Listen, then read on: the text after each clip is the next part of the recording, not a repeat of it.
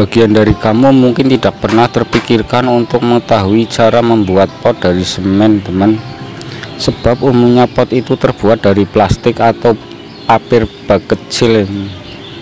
Pot tanaman yang terbuat dari semen mempunyai beberapa keunggulan seperti tidak gampang rusak, kokoh, dan bisa digunakan untuk jangka panjang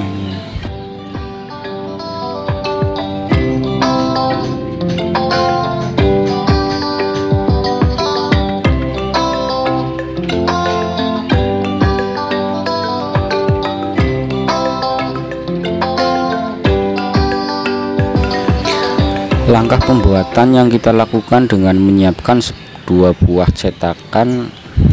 Pertama untuk luar dan cetakan. Kedua untuk dalam. Bentuk dua cetakan tersebut harus sama persis namun memiliki ukuran yang berbeda ya teman.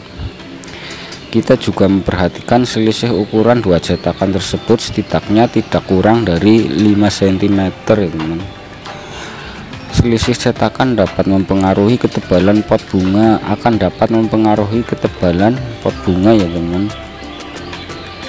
Contohnya saja bila kamu hendak membuat pot bunga dengan setinggi 60 cm usahakan agar ketebalan pot bunga minimalis dari beton minimalis 7,5 cm berikut layar akhir untuk membuat cetakan profil lainnya